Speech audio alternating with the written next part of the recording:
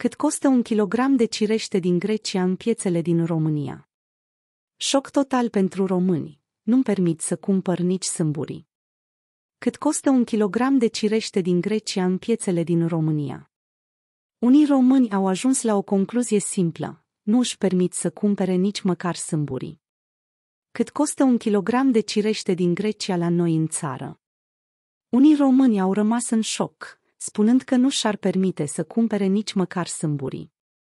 Cât costă un kilogram de cirește din Grecia în piețele din România?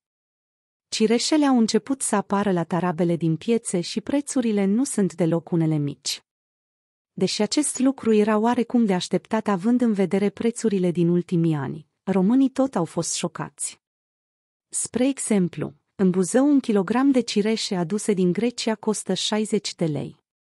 La aflarea acestui preț, un român obișnuit a spus tu stupefiat că nu și-ar permite să cumpere nici măcar sâmburii. Un pensionar spunea că are un venit de 1500 de lei și nu își permite să cumpere deloc aceste fructe.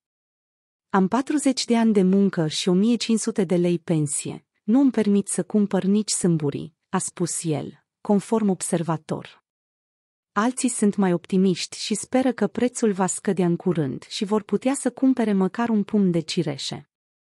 Nu prea s-au făcut, deocamdată mai așteptăm, poate mai scad prețurile, a precizat un român din piață. Ce spun comercianții când vând cireșe? Prețurile sunt ceva mai mici decât în anii trecuți, precizează specialiștii, dar chiar și așa, cererea este foarte mică. Comercianții au recurs la unele soluții pentru a putea să vândă marfa extrem de scumpă. Altfel, aceștia vând caserole de cireșe cu câte 10 sau 15 lei.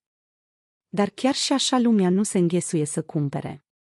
Sunt aduse din Grecia, prețul este de 60 de lei kilogramul, dar vindem și la caserole cu prețul de 10 sau 15 lei. Nu prea avem vânzare. Sunt primele apărute pe piață, iar prețurile pentru oameni sunt ridicate, a explicat un comerciant. În acest an, producția de cireșe ar putea fi ceva mai mică. Iar acest lucru se va traduce printr-o creștere de preț. Specialiștii spun că a fost o perioadă mai friguroasă care a făcut florile să cadă și fructele vor fi în consecință mai puține în acest an.